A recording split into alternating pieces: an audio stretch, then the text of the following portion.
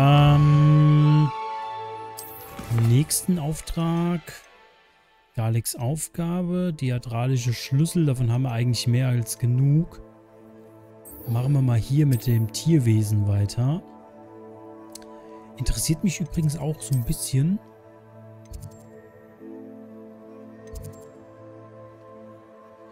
Ah. Das ist also draußen.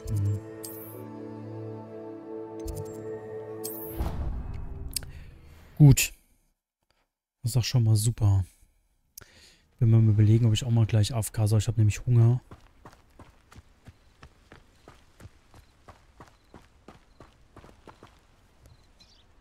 Du, du, du, du, du, du, du, du. Der erste am Unterrichtsort verschläft, weil er zu lange gewartet hat. Das kann man mal machen.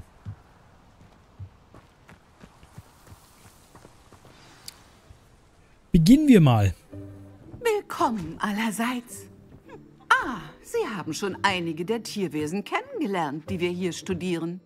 Man sollte diesen Kreaturen mit dem nötigen Ernst begegnen. Das ist ein Dodo. Sie sind alle auf ihre Weise gefährlich. Das ist ein Dodo. Vor allem, wenn man nicht weiß, wie man richtig mit ihnen umgeht. Das ist ein Dodo. Anscheinend sind viele von ihnen aus der Übung. Gehen wir noch einmal die Grundlagen durch, wie man sich um ein Tierwesen kümmert, ja? Das ist ein Dodo Miss gewesen. Sweeting, würden Sie bitte unserem Neuzugang in der heutigen Stunde helfen? Ja, Professor Howen. Hallo, ich bin Poppy. Poppy Sweeting. Poppy. Keine Sorge wegen Professor Howen. Sie übertreibt manchmal.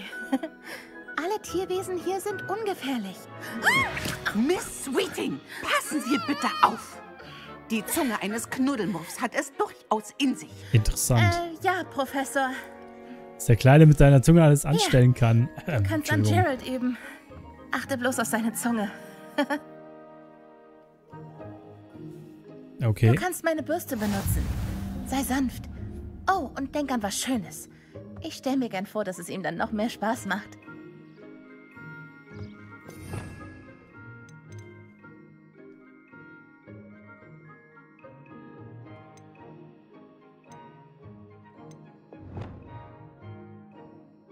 Ernsthaft.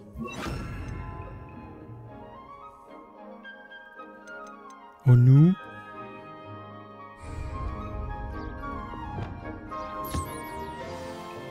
Kann ich den noch in die Luft jagen? Was ist, wenn ich aus Wie Versehen... schön. Er fühlt sich sicher viel wohler. Ich glaube, er hat Hunger. Würdest du ihm etwas Tierwesenfutter geben?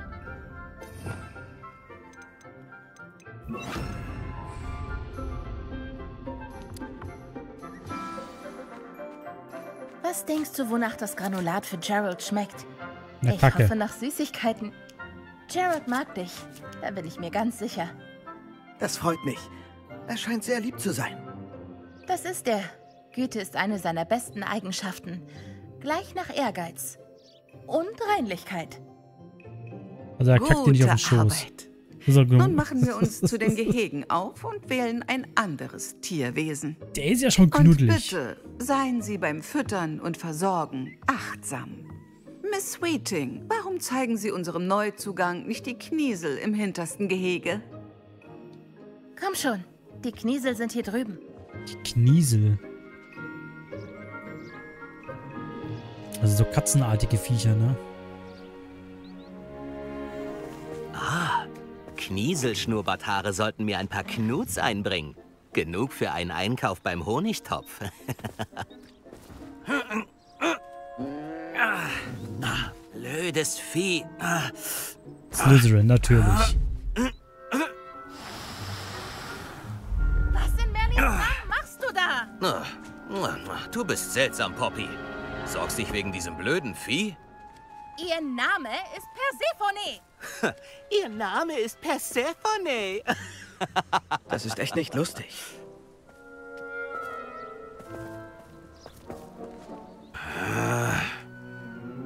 Los, komm. Er hat gerade versucht, der Katze ein paar Barthaare auszureißen, um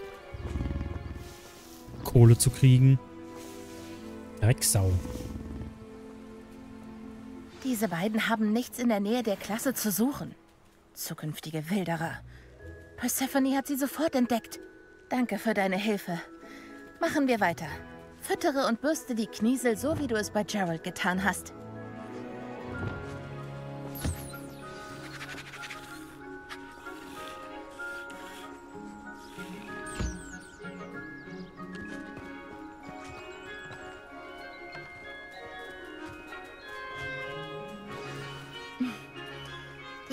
Haben dich wirklich gern. Sie Ja, was- erkennen einen guten Menschen. Genau wie ich. Es Na, scheint, siehste. unsere Zeit ist abgelaufen. Oh nein. Bitte schließen Sie die Gehege und gehen Sie hinaus. Nun, wo ist denn unser Neuzugang? Ich bin doch hier, ah, Eule. Da sind Sie ja. Ich würde Sie gerne sprechen. Na dann. Was hat die Alte denn schon Hallo, wieder? Professor. Sie wollten mich sprechen? Ganz recht. Wie war Ihre erste Stunde in Pflege magischer Tierwesen? Wunderbar. Ich glaube, mir wird dieser Unterricht gefallen. Gut.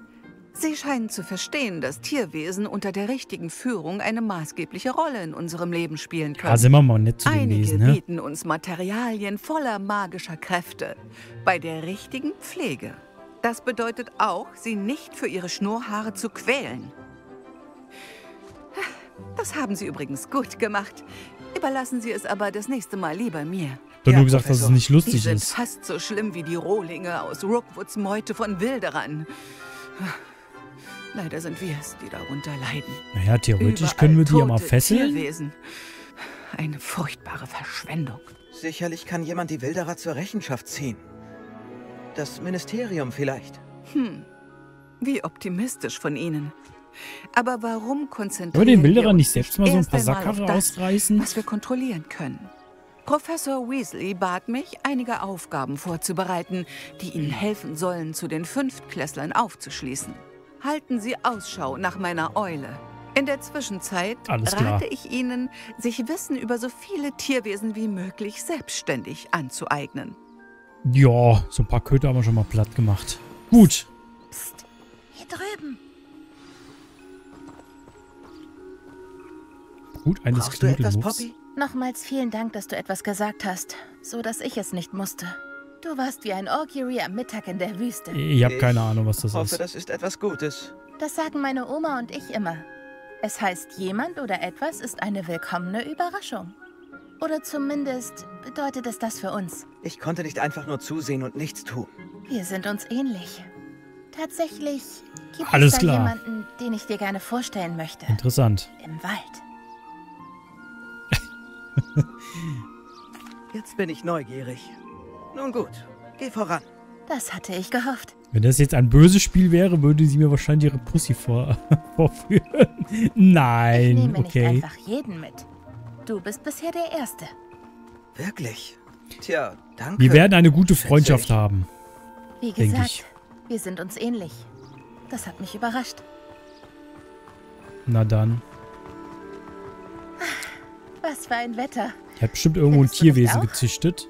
Poppy, wohin bringst du mich? Es ist wirklich besser, wenn ich es dir zeige. Ja. Wahrscheinlich zu irgendeinem so komischen Dingsbums. Keine Sorge, wir sind fast da. Es Nest. ist gleich da vorne. Kann man aber auch falsch verstehen. Mit den kaputten Gedanken. Blödes Internet. Warum hat das Inter mich, Internet mich so Bleib versaut? zurück.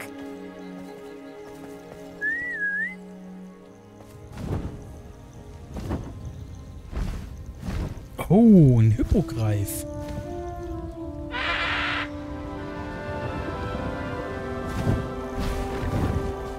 Das hat mich jetzt wirklich überrascht. Das ist Wolkenschwinge. Ist sie nicht einfach wundervoll? Na los, sag ihr Hallo. Aber Vorsicht. Du musst Hippogreifen immer mit Höflichkeit begegnen, bevor du dich näherst. Mit dem Hut kann sie mir nicht mal ins Gesicht sehen. Das ist sehr unhöflich.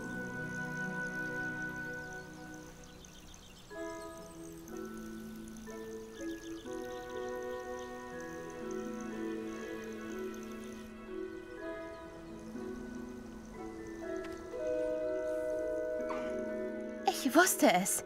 Ich habe noch nie erlebt, dass sich ein Hippogreif so schnell an jemanden gewöhnt. Du kannst sie gerne füttern und bürsten. Wenn ich Zeit habe, schaue ich nach ihr. Bringe ihr was zum Naschen und erzähle ihr, was im Schloss los ist. Man sieht es ihr nicht an, aber sie ist eine furchtbare Wichtigtuerin. Aha.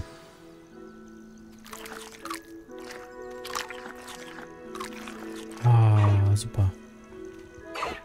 Finde ich nicht schlecht.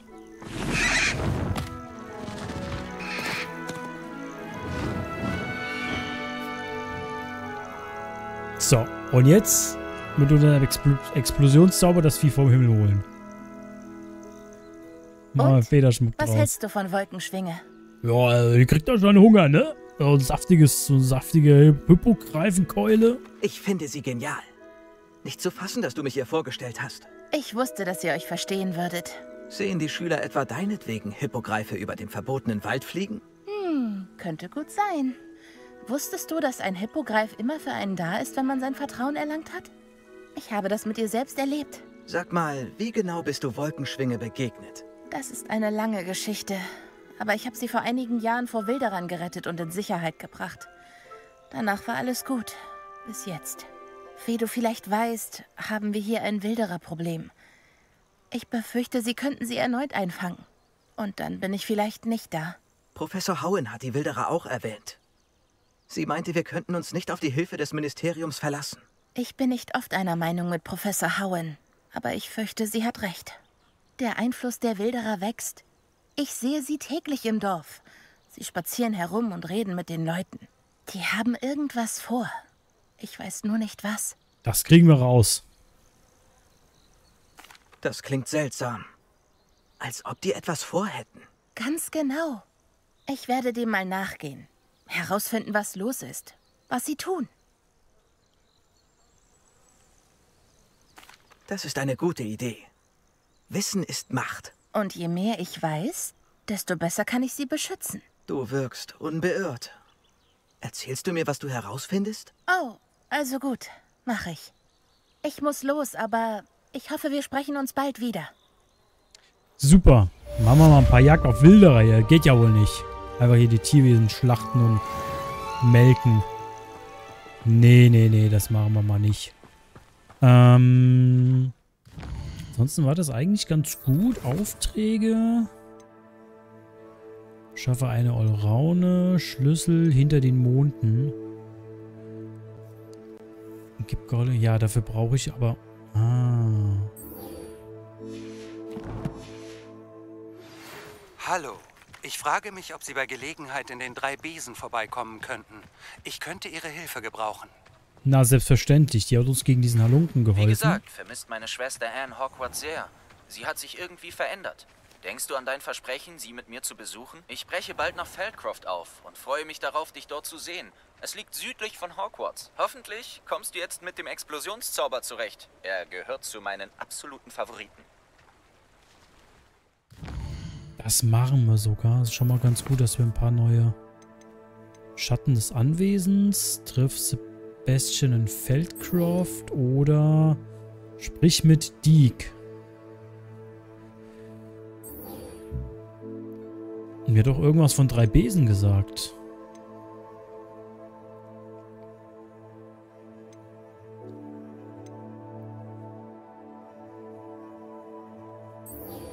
Machen wir. Wir haben jetzt auf jeden Fall wieder einiges an Aufgaben bekommen. Ich würde jetzt erstmal zu der Dame, in, äh, zu den drei Besen gehen. Einfach aus dem Aspekt her, dass die uns ganz gut gegen diesen Halunken geholfen hat. Giftige Rache. Ein Mann steht hinter den drei Besen und murmelt vor sich hin. Soll ich eingreifen? Ja. Auf jeden Fall. Könnten wir sogar theoretisch zwei Sachen mit einer Klappe schlagen. Ich weiß nur nicht, woher wir das jetzt Ich habe haben. schon seit einiger Zeit nichts mehr von meinem Onkel Roland gehört. Ich bin ganz außer mir vor Sorge. Können wir uns im Innenhof treffen? Ja, können wir machen. Dem alten Sprücheklopfer werd ich's zeigen. Sir, ist alles in Ordnung? Danke der Nachfrage. Mein Name ist Ackley Barnes. Und nein, ganz und gar nicht. Ich plane gerade meine Rache gegen meinen einstigen Geschäftspartner, einen teuflischen Schwindler namens Alfred Lawley. Er hat mich aus unserem Kräuterbedarfsgeschäft verdrängt, als es gerade Fahrt aufnahm. Er meinte, ich sei zu explosiv. Dem zeig ich mal explosiv. Das muss frustrierend für Sie gewesen sein. Ja, das war es. Schrecklich. Ich bin eben leidenschaftlich bei der Arbeit. Also du hast irgendwas in die Luft gejagt. Narr. Er kann auch leidenschaftlich sein. Und daran werde ich ihn erinnern, indem ich ihm seinen geliebten Besitz nehme. Eine Venemosa Tentacula, die er aus einem Samen züchtete und die der Grundstein unseres Geschäfts sein sollte. Ich komme nicht mal in die Nähe, wenn Ruth Singer mich wie ein Augury beobachtet. Sicher auf Lawleys Bitte hin. Aber ein Kind würde niemand verdächtigen. Hm. Was halten Sie davon, schweren Pflanzendiebstahl zu begehen? Hm. Ich glaube ehrlich gesagt nicht, dass ein Schüler das für Sie tun sollte. Ach, das ist doch nichts. Und er hat es verdient. Glauben Sie mir. Sie werden das im Nu erledigt haben. Na gut. Na gut, Sie Komm. haben mich überzeugt. Ich sehe, Sie haben ebenfalls ein gesundes Gerechtigkeitsempfinden. Nehmen Sie so viel Kräuterkundebedarf, wie Sie nur möchten, während Sie da sind. Ich möchte lediglich die Venemosa Tentacula. Nicht vergessen, ich brauche nur die Venemosa Tentacula. Jo, ich will aber vorher... Ich muss wohl Mr. Lawleys Keller finden. Das muss es sein.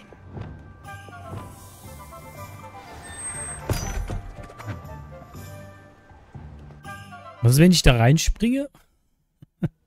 Das ist der Keller. Ich muss die Venemosa Tentacula finden.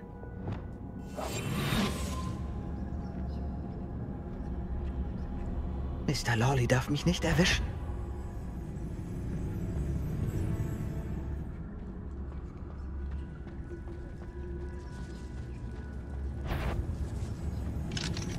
Hallo, Homura.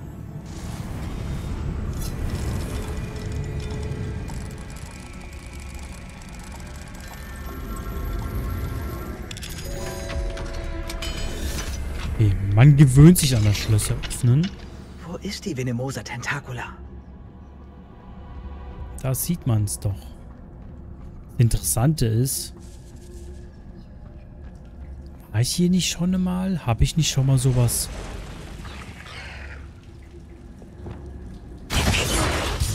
Confringo! Accio! Incendio!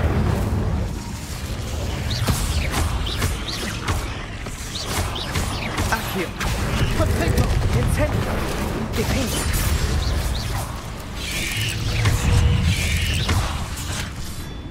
So viele Spinnen. Wunder, dass sie noch nicht das ganze Haus übernommen haben. In Defendo! Accio! Confringo! Protego! Accio! Incendio! Alter Schwede, what the fuck? Aber braucht man theoretisch gegebenenfalls die Spinnen?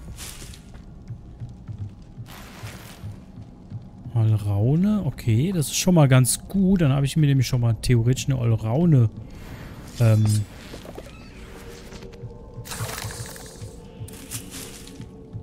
Oh ja, ich meine, komm schon, wenn wir ja schon mal einen Einbrecher spielen, können wir auch alles machen.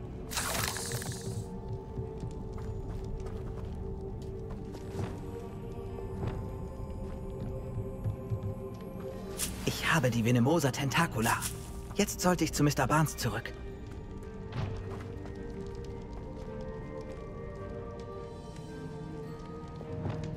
Confringo!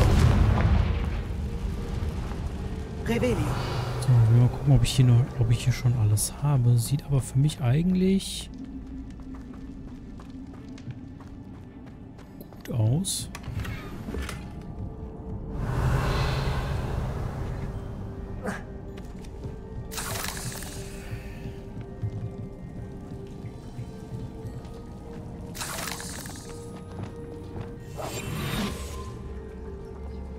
Muss halt nur aufpassen, dass der mich nicht sieht. Aber das mit dem Schleichen, wenn man sich so ein bisschen dran gewöhnt hat, geht das, finde ich.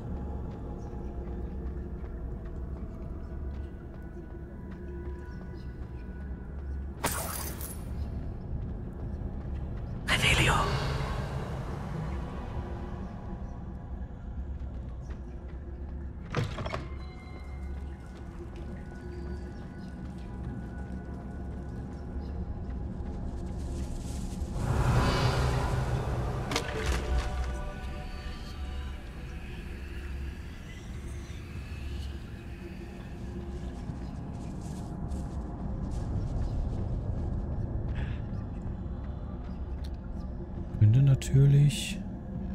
Was ist, wenn ich einfach weitergehe? Okay. Ich muss es also so machen. Verstehe.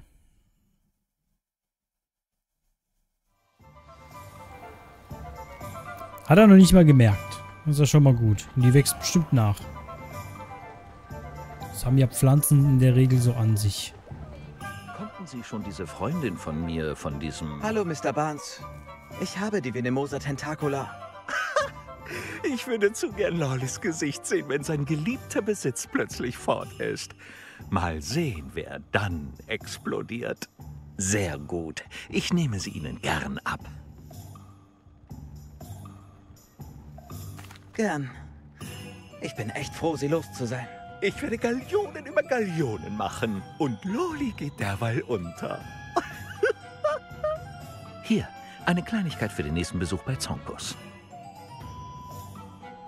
Ich würde zu gern Lawlys Gesicht sehen, wenn er das